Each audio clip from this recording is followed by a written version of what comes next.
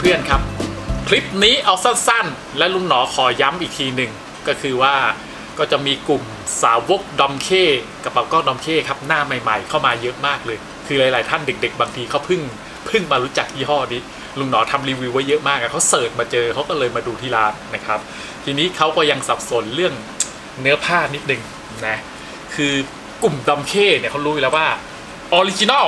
นะ นี่เอาเอาคลิปเล็ก ๆ เอาเอาใบเล็ก ๆ มารีวิวให้จับถนัดไอตัวนี้เป็น F8 นะครับ น่ารักเชียเห็นไหมพวก Domke สาวกยุคยุคเก่าเขาจะรู้ว่า Domke เขาจะเป็นเนี้ย canvas ซีดซีดเซอร์เซอร์เหมือนกางเกงยีน ใช้แล้วต้องซีดนะ แล้วมันเซอร์ปุ๊บมันมันได้ feel ได้อารมณ์กันนะครับ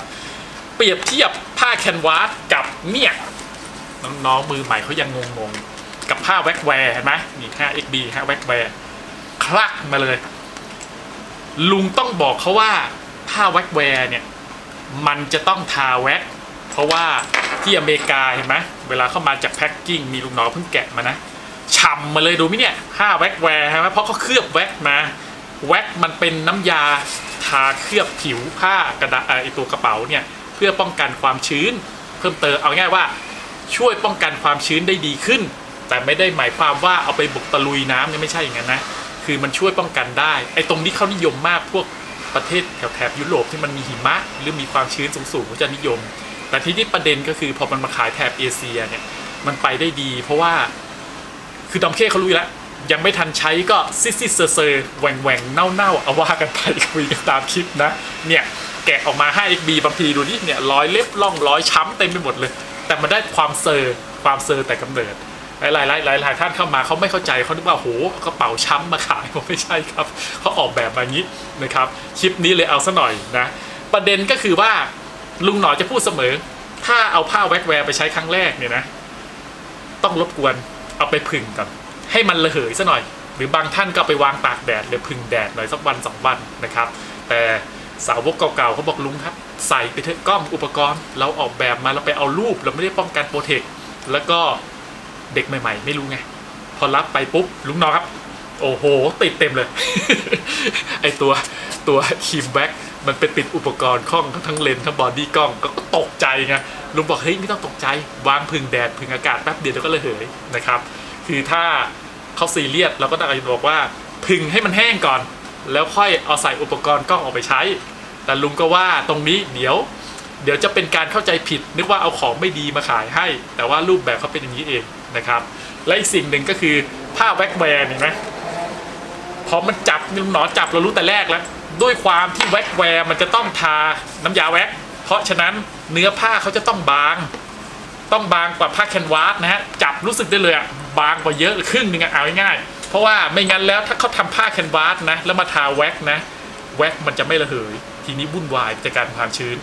แต่ไอ้ผ้า waxwear ออกแบบมาเพื่อบาง แล้วก็กระจายระเหยความชื้นได้ดีกว่า ก็มีเหมือนกัน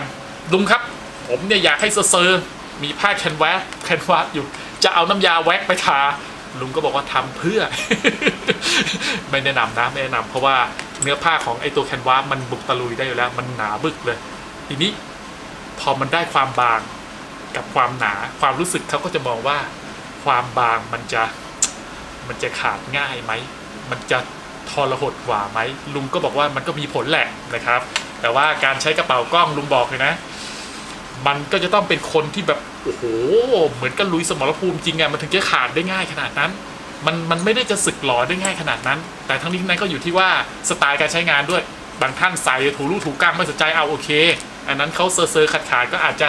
ตามสภาพการใช้งานว่ากันเถอะอย่าไปซีเรียสมันหลาย ๆ ท่านบางทีพอจะตัดใจซื้อกลัวว่าความทนทานมันจะน้อยกว่าผ้า canvas ไงลุงบอกแม่ใช้ที่เถอะ เหมือนเราใส่เกงยีนอะให้มันซีดให้มันเซอร์ให้มันยุ่ยมันขาดมันเป็นตัวของเราเองเท่ดีออกนะไม่คลิปนี้เลยอธิบายก่อน เพราะว่ามือใหม่มาที่ร้านเยอะ เวลาอธิบายแล้วเขานึกว่าเอาอะไรมาก็ไม่รู้